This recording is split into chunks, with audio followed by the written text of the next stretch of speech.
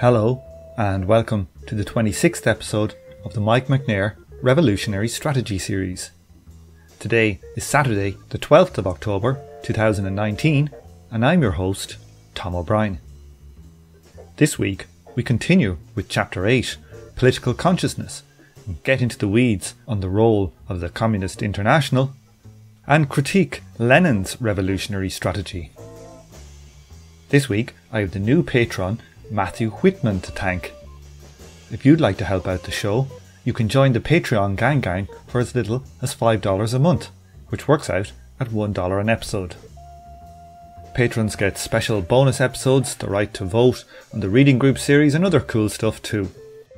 When we reach 100 patrons, we'll be producing a second Patreon only podcast every month.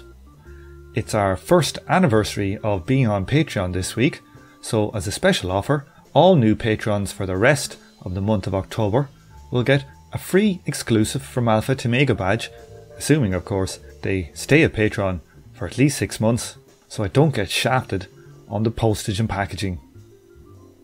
The next reading group series is also not too far off, so make sure you get yourself a copy of Marx's The 18th Brumaire of Louis Napoleon so you can follow closely and point out exactly where we've gone wrong. I'm halfway through reading it myself right now, and it's a goddamn humdinger. If you'd like to comment on the show, please do so on the YouTube channel. And make sure to like, subscribe, and share. You can also join me on Facebook or Twitter too. Okay, to the discussion.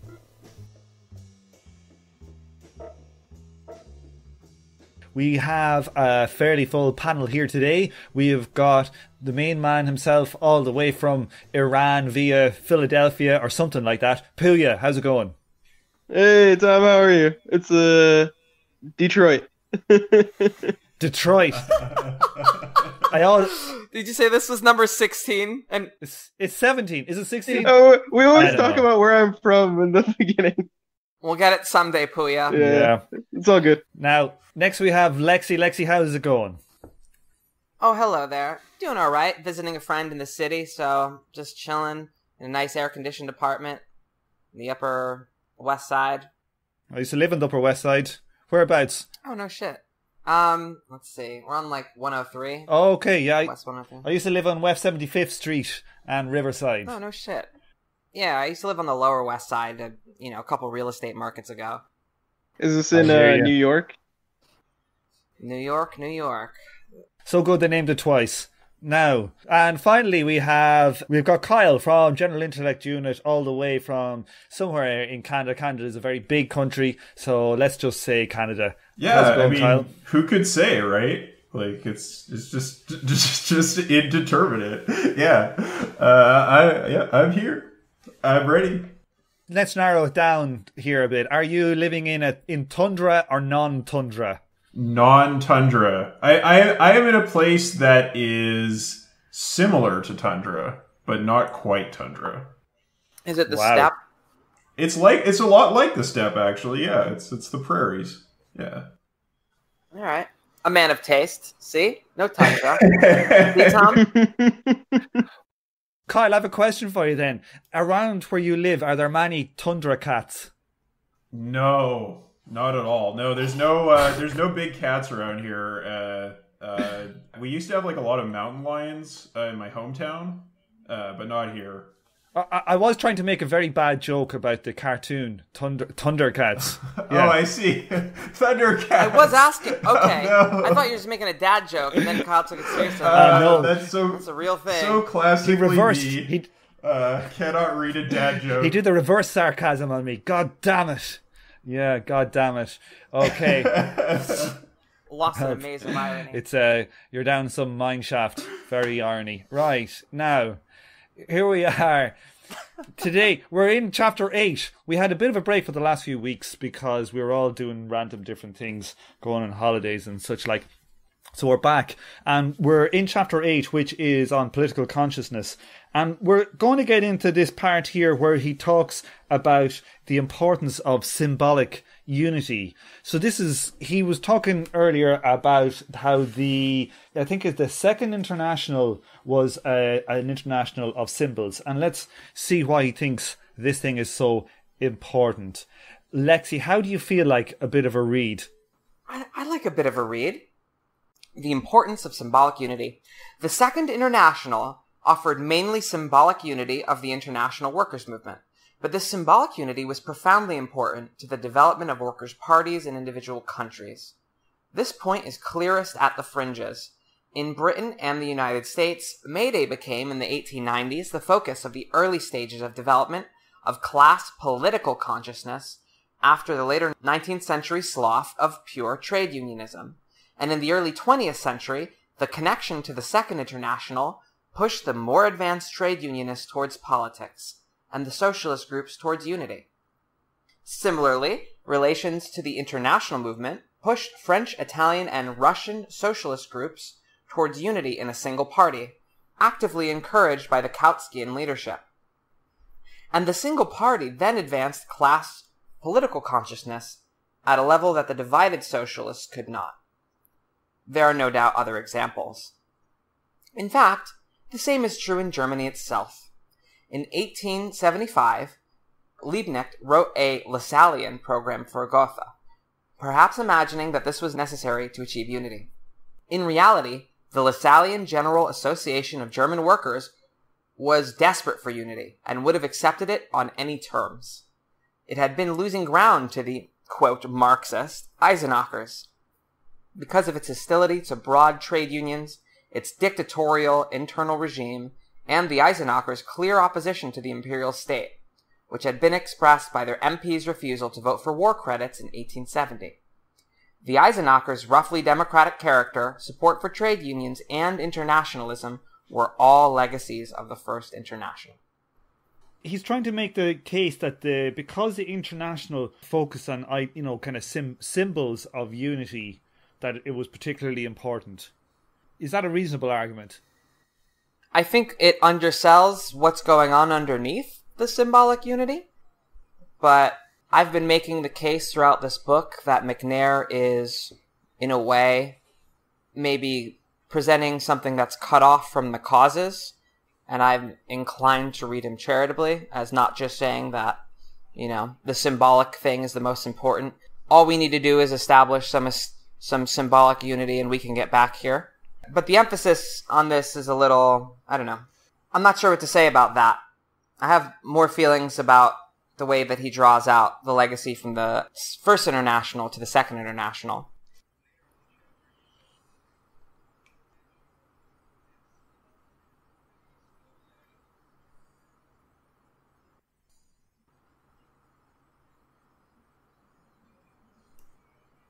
I think there's like some historical evidence he points to to show that like the actual like secretarial activities of the Second International were somewhat limited to to be like, oh, that's why it's symbolic unity because they weren't actually doing a lot of administration internationally. I guess there was an underlying social process that was rather similar in each of these countries, even though it had a national orientation, and even though the Second International didn't take as much administrative tasks as the first or the third internationals, is I guess what I mean. I would be interested to know more about, like, outside of the secretarial activities of the international, what the sort of nation to nation, party to party relationships were at that time. Because, yeah, that those were probably quite significant as well. Yeah, I was wondering what he meant by symbolic unity instead of like just regular unity. And I think that's what he means, like that the national parties were still kind of like dispersed, you know. Yeah, because I think he's talking about the international in a very like different sense to the way he was talking about party earlier, right? Like with with a party, it was kind of like this loose sort of thing. It's like it's not necessarily highly institutionalized, but I think in this case he's he's talking about the actual institution of the Second International, not the broader sort of quote unquote party that formed at that time. At least that's that's kind of my read based on the fact that like he's pointing to kind of like secretarial activities is like a, a major part of what does or does not make it symbolic. There's a line here I just want to read again because this one I just realized I'd written some notes in my hand copy about it. Let me just read it again. It had been losing ground. This is talking about the uh, I think the Lassalleans in, in Germany in the 1870s. And he says here, the Lassalleans were the ones that were trying, they're kind of the right wing of, of social democracy or Marxism or socialism, whatever you want to say it. It had been losing ground to the Marxist Eisenachers because of its hostility to broad trade unions, its dictatorial internal regime, and the Eisenachers' clear opposition to the imperial state, which had been expressed by their MPs' refusal to vote for war credits in 1870. Like, that's just been slipped in there. There's very little actually talked about that. That is a major goddamn point in this book. Yes. Like, it's an enormous, it's enormous. point that in 1870 they got the war credits right, and in 1914 they didn't. Right. All the way through the book, it seems to me there is a case being made that like they couldn't have voted against war credits in 1914 on some for some like the reason is that the right made it impossible. Yeah, they blocked with the right. No, that's that's what changed between 1870 and 1914. They're like, "All right, the right, let's hang out." Right? And so once they merged, there's no way around it. This is this is what Liebknecht was doing at the time according to MacNair. But I don't know if that's true. It's making the point that because it happened then, it had to have happened. I just don't buy that. You you don't buy that if they block with the right, then that has to happen. I don't I don't buy that. I, I, I don't buy that.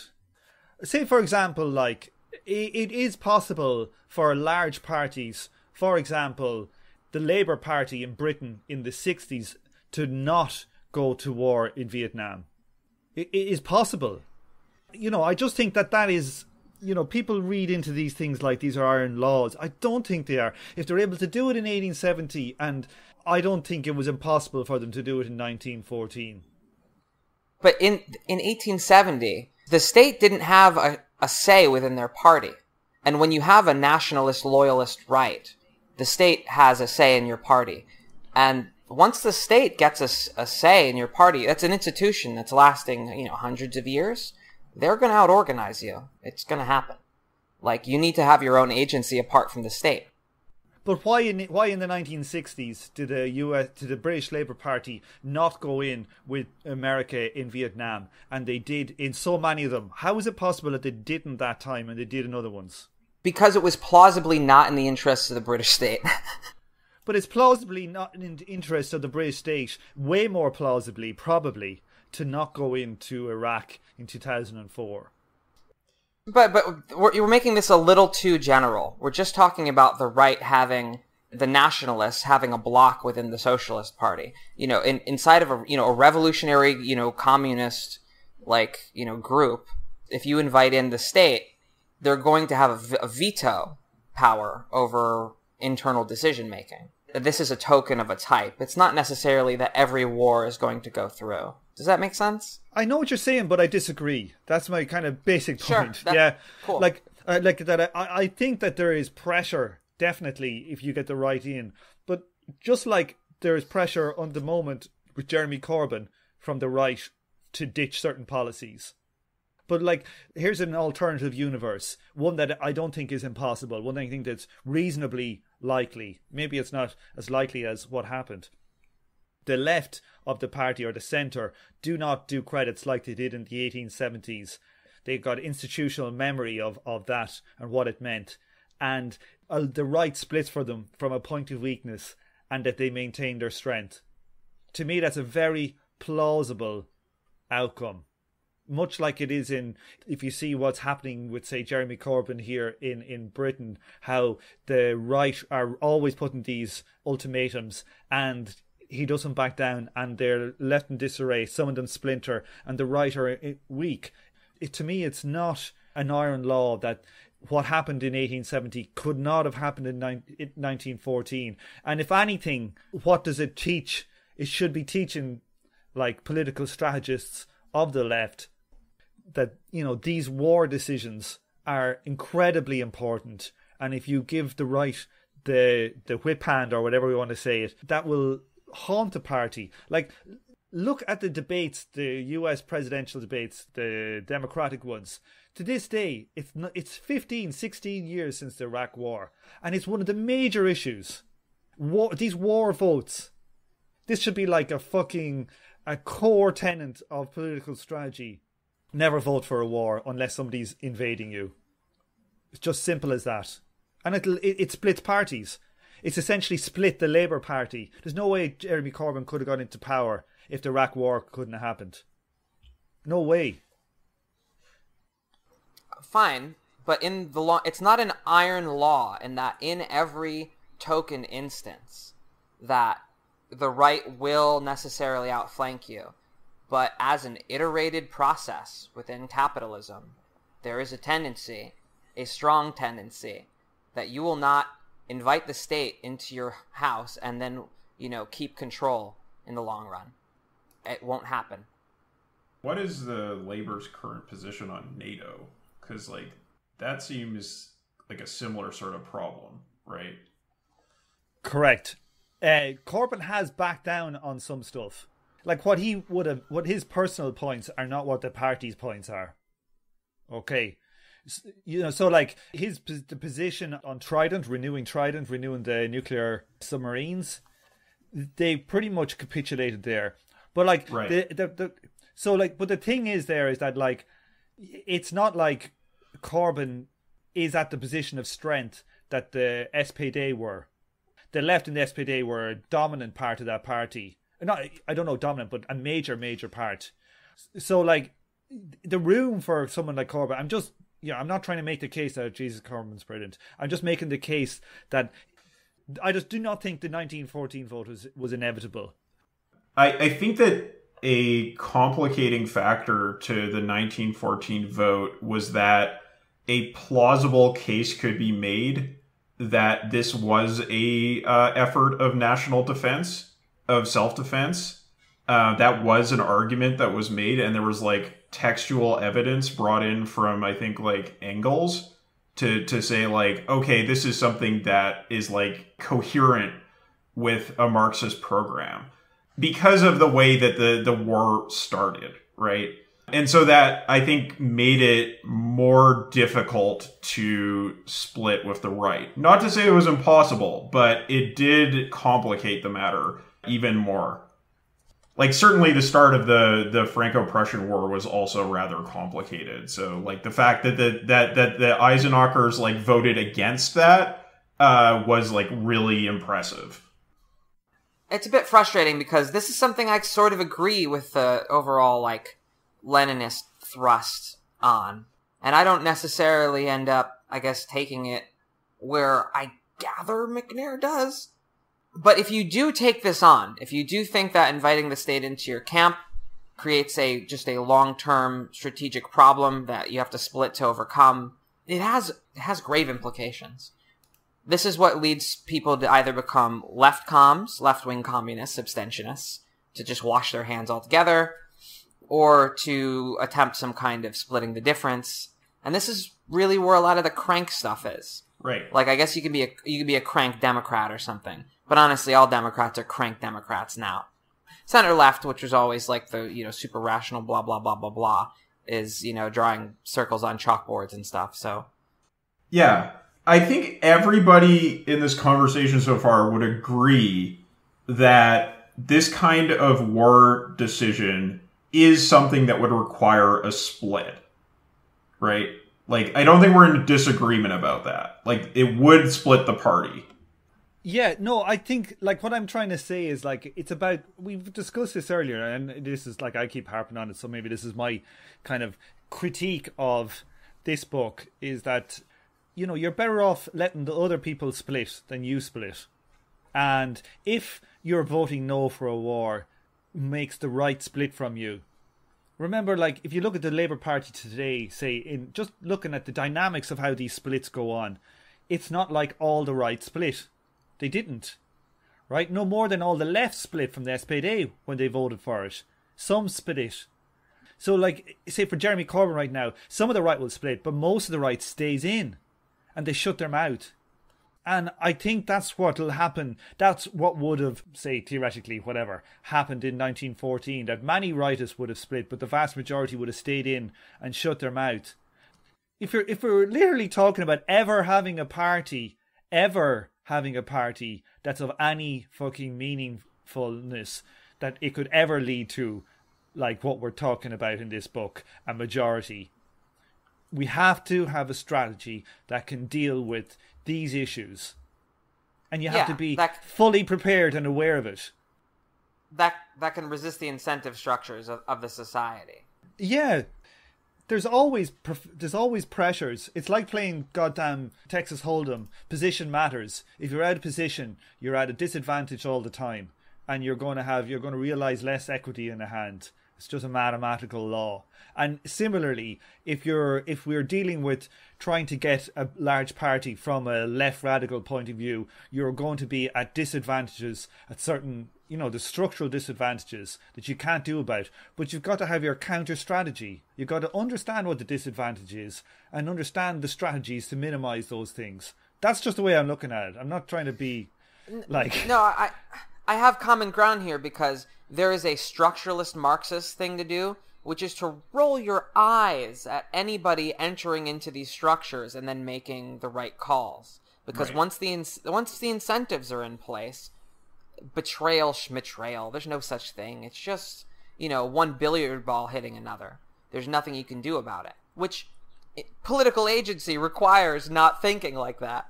Right. Yeah. but and yeah, how did the Russian Revolution ever get off the ground if that was correct? You know, Well, it couldn't. Right, but but the question is, how far does well the the Russian Revolution predates a lot of capitalist, uh, like like like especially highly developed capitalist uh, parliamentary dynamics, which was part of what the left wing communists would harp on Lenin about, being like, dude, you have no idea what you're talking about. Like it's so different here. Like you you don't get it. Lenin's like, why is everyone so obsessed with sex there and stuff? They're just reading magazines. and shit. He's, he didn't understand what it was like to be in like late capitalism, you know, or even 19 you know 10s German capitalism. It's a qualitatively different situation. Not all the, not all the incentive structures were, had been capitalist and there for you know a century or something. I'm, I don't know. The, the Right. point is is that once those incentive structures are in place, there are certain kinds of actions that are, you know, traitorous, but are to basically be expected to the point where you can't have your moral outrage go off anymore because it's a waste of energy. So, where we agree is that I don't accept that we live in a totally structurally determined place, and we have to, like, really delimit how far that goes. I'm not trying to be a dirty idealist, you know, and Of saying the the vote could have been different. But I, I do think like there is agency uh, uh, in, in these things, and I do think while you're at disadvantage, and while this is every time a war vote could would come up, it would very put large stress to a, any kind of a revolutionary communist socialist party.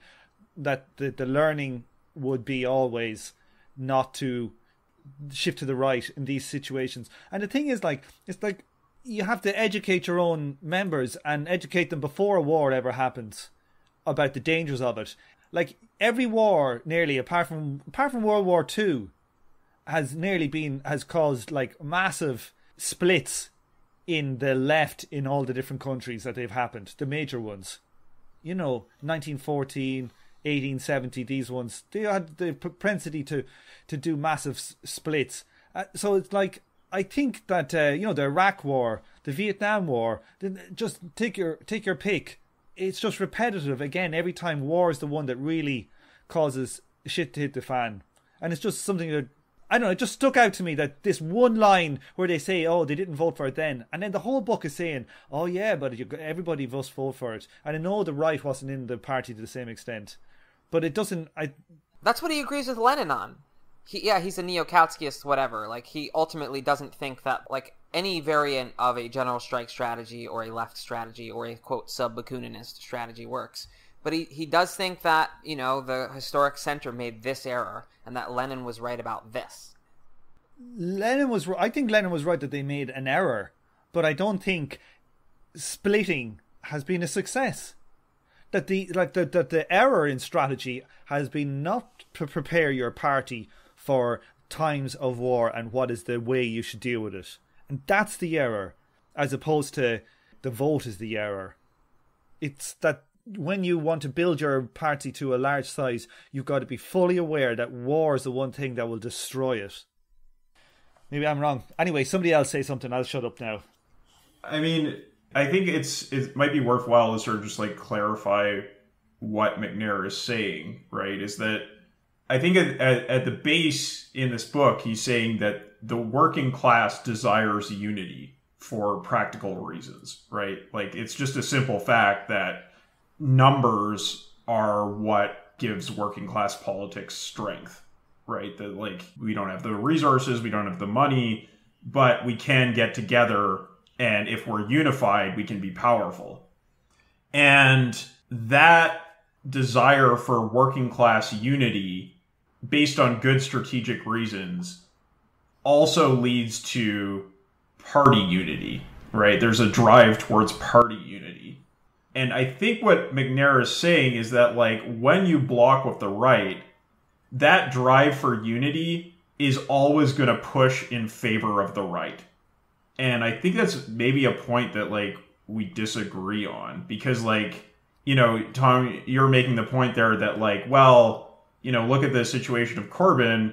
In that case, there was a split but you had people on the right who remained in the party on the principle of unity and were actually like strategically disadvantaged. So that is that is distinct from the sort of scenario that MacNair is presenting of well, when you come down to these sorts of decisions, the left is going to fold in order to maintain party unity. They will stick with a right leadership given all the incentives that exist. Yeah, correct. That's that's precisely my point. Like my point is that it's very like a kind of a an initial kind of condition to it is you need to have the left of your party somehow come to power. Like Corbyn fluked into power, utterly fluked it. Nobody could believe it, you know. But he got into power, and the difficulty for say somewhere like in America will be to get a left into the dominant control of, say, the Democrats. You know, that's a that's a whole other barrel of fish. Well, I mean, that's the perspective from that's my barrel of fish. That's the barrel of fish I live in, Tom. And from yeah, from our perspective, that's that is wow, that's a real long shot. That seems crazier than communist revolution. Yeah, but look, Corbyn, like Lexi, you can't, um, you like, I, I, I don't mean, I don't mean it pejoratively, but like, you, you can't imagine how unlikely Corbyn becoming the Labour Party leader was. Like, he was my local MP. The guy would turn up to meetings late with a with a plastic bag full of bits of rubbish. Like, it's just. I've been there. I've been at a meeting, and he turns up like half an hour, an hour late with a plastic bag with loads of like sheets of paper in it, and he's wearing like a, a duffel jacket and like you know, and he's just you know, all over the place. Not even a good speaker. You just couldn't imagine it. You could. It's just. It's just. It blows my mind when I think about it. Yeah. So sometimes, sometimes weird stuff happens, right? But like. No, no, for sure. So like my my thinking about this is that like if we wanted to look at which party in history in a major kind of developed capitalist country was the kind of party that could have done something good, and to me it's the SPD from what I know. Okay, and they were the closest to doing anything that would have been what we would have thought would be what communism or socialism that we want would look like. Now, as like radicals, we should be thinking like, how do we get back into that to that type of party, and how do we get to a party like that? Like, I'm not saying the Labour Party is like the SPD now, but like, I'm just always when I'm reading this book, I'm always just thinking strategy. If I'm a chess player or a poker player, what is my strategy to get to that position? Okay, so for me, it's like, you know, it it it seems like this is a strategy, and people can like take it or leave it. You know, I'm not saying it's correct. It's something that just kind of has come up to me again and again reading this book. You try and get control of a left party and then you you try and radicalize people with it and you try and use your base like like in the labor party the membership is driving the party to the left. Okay, while the the MPs are trying to drive it to the right, and you want to try and constantly make your policies more and more radical. All the time. And, and like maybe over like five election cycles you wouldn't you know you maybe your party is actually getting to a SPD party. You that that to me is like a plan that somebody could could could put together. Like i know like it's failed numerous times and, and and and now I'm sounding like I'm Novara fucking media, and it, it, it Well- you know, it, it makes my head melt. But like, god damn it, like the Corbyn thing is quite interesting.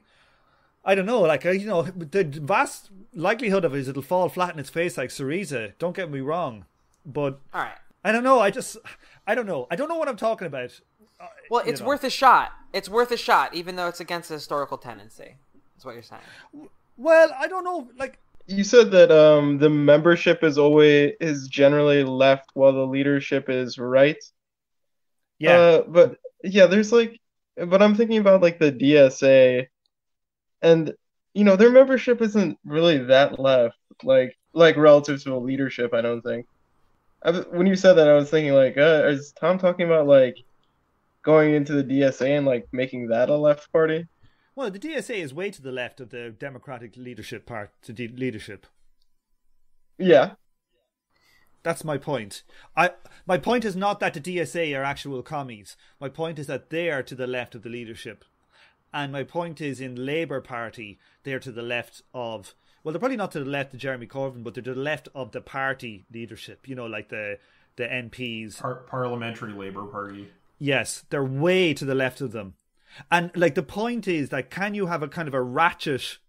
Is there some possibility for a ratchet strategy where you have like a feedback loop, which ma- makes the membership ratchet more left? the the point that really like comes up to me here is um that kind of like anti-politics point the observation about this the the state of current party composition that in the case of Corbyn uh you do have like this activist membership that has pushed the party to the left because the right has no actual mass basis like they they just are administrators of the state and they have a very tenuous relationship to the population at large.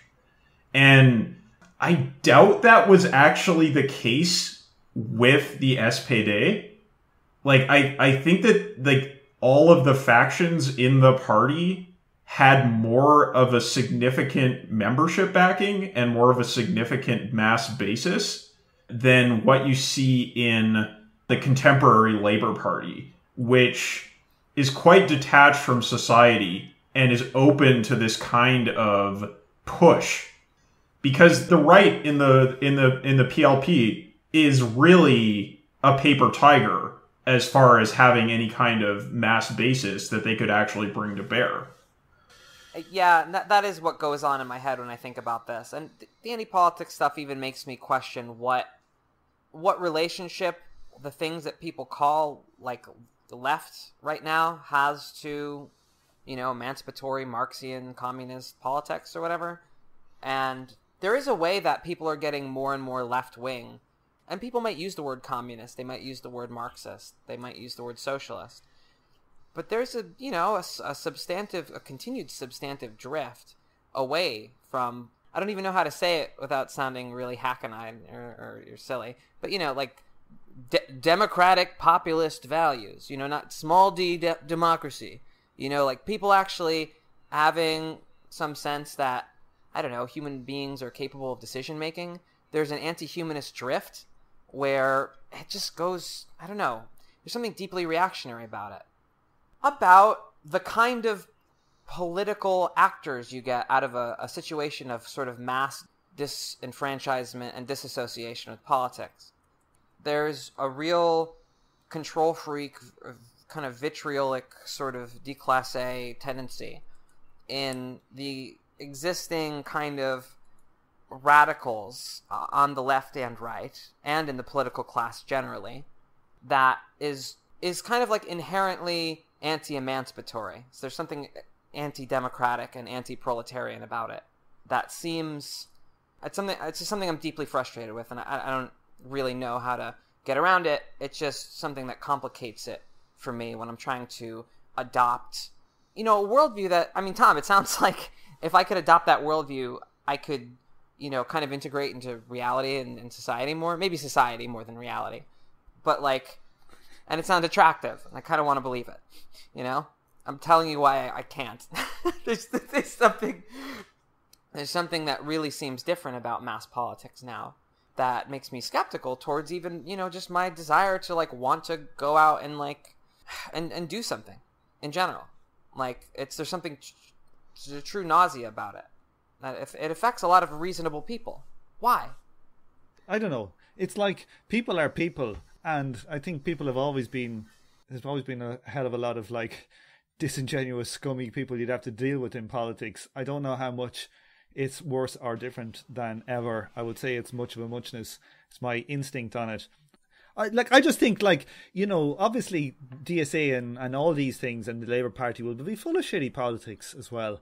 But like the shitty politics that's around now is a lot better than it was 10 years ago you know. It, i just think people are uh, you know it's like an awakening of you know socialism is like it's starting to fucking move again. The dynamic is moving. It's probably true. I mean things were pretty nutty. I don't know. They're different kinds of nutty. They're different kinds of good and different kinds of bad. It is phenomenally weird.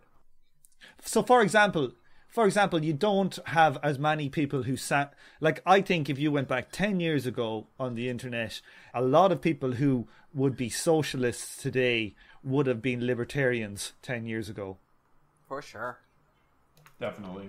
now Derek, is that I, you know so Der- Der- maybe uh, me Derek, I, don't- I Right. But Derek will grant this and then sort of point out is, is this a hopeful phenomenon or does this tell us something about the sort of level of engagement that we're getting? Maybe maybe it is a hopeful phenomenon. I tend to read it as a hopeful phenomenon. I tend to read it that way.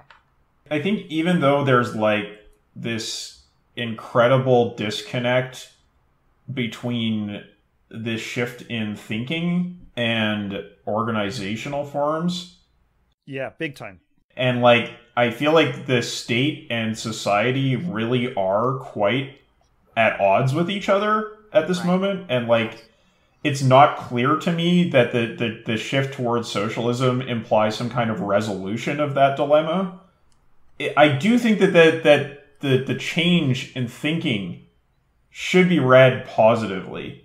Like I don't know where it goes, but it, it's you know I lived through the 90s. It was bad. it was really bad, you know?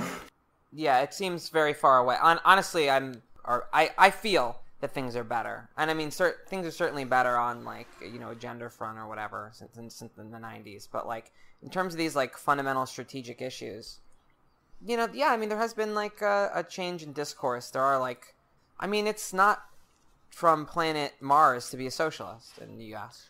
And that's a banal point. Hmm. But What, what do you what do you mean by socialist though? What do you do you mean like a like a communist or like Bernie Sanders? whatever whatever like all, Doesn't all of that was was kind of like Cold War delimited in the 90s. There was like the hangover of the Cold War. You were a traitor in the 80s and the 70s, or, or you you were getting laid in the 70s if you were a commie. If you're in the 80s, you're you're you're a traitor, and then in the 90s, you're just like you just don't belong. You're the, guy world. on Seinfeld. You're you're the Yeah. guy on the, the Seinfeld episode about communism. Yeah, you're literally a joke. Like wh- like the Tropico computer game series. They they have all these like shitty like you know it was kind of racist and and, and but it, they had all these like shitty stereotypes and dumb jokes. They have a communist in it, and the joke is that they're a communist. There's no like additional like winks really. It they just say communist stuff, and that's the joke. That's funny. And like, it is true. Like, like imagine, right? It's 2008, right? YouTube's just been launched, and we're we're doing a MacNair reading group series for a podcast. How many people would listen to that goddamn thing? Seriously. Yeah, that's that's about that's about when the book was written, right? It was. So it's not even it's not even no time travel involved. YouTube existed. but if I did it, it would it, instead of getting like the 100 views it does on YouTube, it would get it would get one. I'd even in a podcast. Like there was no left wing podcast in 2008. There was Right. probably a hundred libertarians. Now I'd say the socialist or whatever you want to call it, whatever people to me is just the term they call it themselves. Even to call themselves socialism is a massive movement in America, not so much in Europe, but in America. And it's like, you know, I, I'm sure it's got to be three to one socialism to libertarian podcast now, as opposed to a hundred to one the other way. It's just got to be. Yeah, libertarianism is uh, I don't, I don't, I don't encounter it that much in my everyday life. I don't know about you people. Not like I used to. Like it used to be the degree to which the Fraser Institute was successful in propagandizing in uh, in British Columbia, where I grew up. This was a uh, American libertarian funded propaganda organ that's existed forever, and they they like print they produce like uh, school book materials and like they get a bunch of stuff on the news and just basically exist to drive politics in a libertarian direction. Like that stuff was really pervasive when I was growing up, uh, and it feels like it's a little like it's still on the news, but it's not popular in the way it was because it's just you know it's just not the zeitgeist, right? Like libertarianism, I feel like is a bit on the wane. I would really like to see the left that's developing right now. Like, thing for me is they're just not like, they don't have that push towards like nationalizations and expropriations. You know that I would like. Internationalism is not even. I I did had no idea what internationalism was before. I uh like it's not a part of the discourse right now at all. Socialist politics is so nationalistic still. These are long movements. They're not short movements. We'll, I think we'll see it coming. You know, Corbyn is talking about nationalising rail and energy. You know, renationalising the post office, the railways, and energy. So if he wins, they're getting they're nationalised. That's you know, so it is starting. You know, and they're not going into like the old form of nationalisation. There's going to be some democratic control over it. So I mean, like, as in non-politicians' democratic control. So it's interesting. We'll see what happens. God damn it, it'll go the way of Syriza and it'll fall on its ass. But something is moving. That's the way I just put. That's the way I feel about it. You know. Look, we've done one page. We haven't even done one page. But Seriously. ah, but but wow, I I need a cigarette. That was a great com- It's a great conversation about this page. Are, are, are you are you implying that you've actually come, Lexi, during that discussion? Is that what you're I'm just implying? saying, I feel very satisfied. I feel closer to everybody.